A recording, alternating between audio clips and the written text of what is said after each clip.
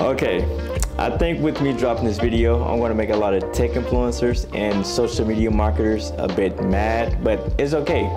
I'm not doing this video for them, I'm doing this video for you. Now, they're gonna charge you thousands of dollars for this information. I'm gonna give it to you for free.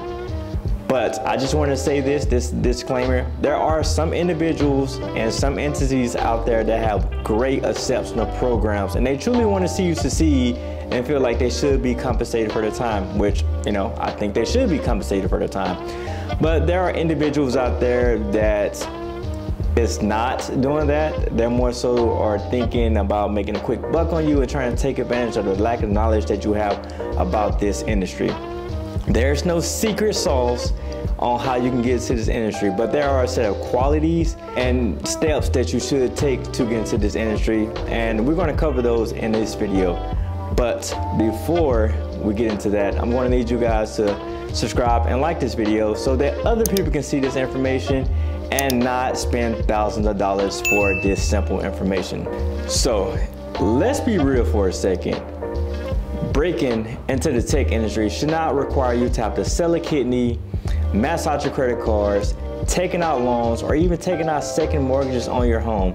It's all about making smart choices and leveraging the resources that's available to you. So, with that being said, let's dive into the video. Step one, embrace the power of self-education. You don't want to have to spend thousands of dollars to learn information that you can find on the internet for free or at an extremely affordable rate.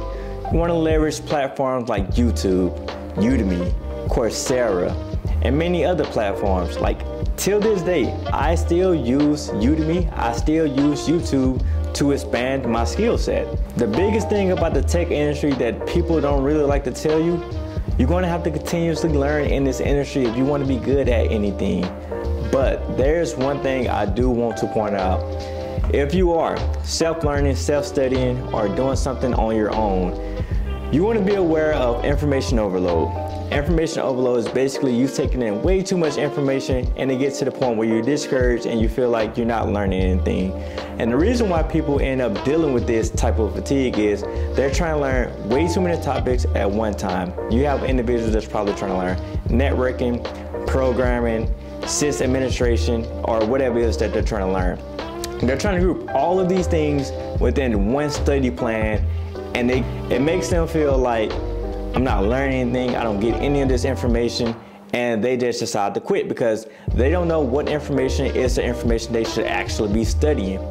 You don't want to do that. You want to lock in on one topic and that's it. Once you firmly understand that one topic, go on to the next topic. You do that for each topic until you can explain that particular topic to someone that has no understanding of that topic or the industry in itself. I always try to tell people, if you can explain this to someone as a five-year-old or someone that has no knowledge of this, then you understand the information.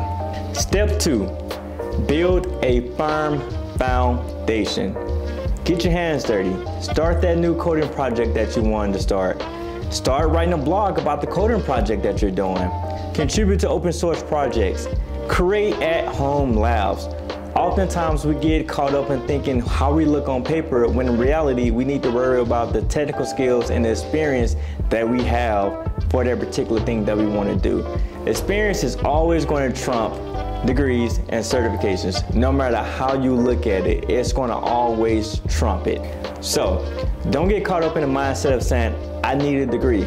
I need this certification. Because the matter of the fact is, you don't need those things.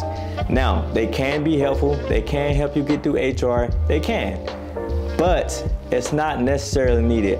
I tend to say degrees and certification are kind of the same things. And when I say that, let me break down what I mean. When you're completing a degree, it doesn't necessarily mean you qualify to do the job. It's not guaranteeing that you're going to get a job, but it does show you have discipline and you are willing to learn. And that's the exact same thing when it comes to certification. It doesn't necessarily mean you're qualified to do this job. It doesn't mean you're guaranteed to get a job, but it does showcase that you are willing to learn and that is definitely something that's going to make you stand out in this industry. And honestly, you're gonna always have to continue to learn. So you showcasing that ability can definitely help you within this industry. Step three, networking. It's not about what you know, it's about who you know. You need to be going to tech conferences, local meetups. You need to be joining online communities, joining Discord servers, having discussions with individuals that's in the industry that you want to be in. We're in the information age, guys. Like 20 years ago, people didn't have access to apps like Instagram and Twitter. Well, they might have have. I'm not really sure, but you guys get what I'm trying to say. All you have to do is pick up your phone, go to Instagram, TikTok, Twitter, even Facebook, and ask someone a question that's in that industry. Hey, man, I see that you're in this industry. I would love to ask you a question. Is that okay? Honestly, don't even do that. Just ask the question. But there is a caveat. You do not want to ask a question that someone can easily Google because nine out of ten, if it's an answer that can, if it's a question that can be Googled, a person like me, I'm not going to answer it because I'm going to feel like you're wasting my time because you didn't even take the effort out to Google and say, hey, how can I get into cybersecurity? You you go and type that into Google, you're going to have hundreds and hundreds of different results telling you how to get into cybersecurity. When you asking people questions, you want to ask them questions that's unique to their personal experience. You want to ask them questions like, hey, what made you choose cybersecurity over software engineer? Because then you're getting more detail into why they chose that career field, what's their outlook on that, and that's going to give you way more information versus, hey, how can I get in cybersecurity? You never know where your next opportunity is going to come, so you want to make sure you're networking with as many people as possible. I know you was probably looking for a quick fix solution to get into this industry, but I promise you, there's no quick fix. There's no easy way to get into this industry.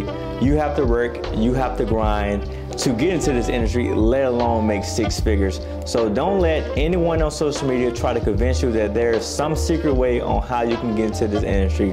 But with that being said, I really hope you guys enjoyed this video. And until next time, keep grinding and I hope you guys get to where you want to be.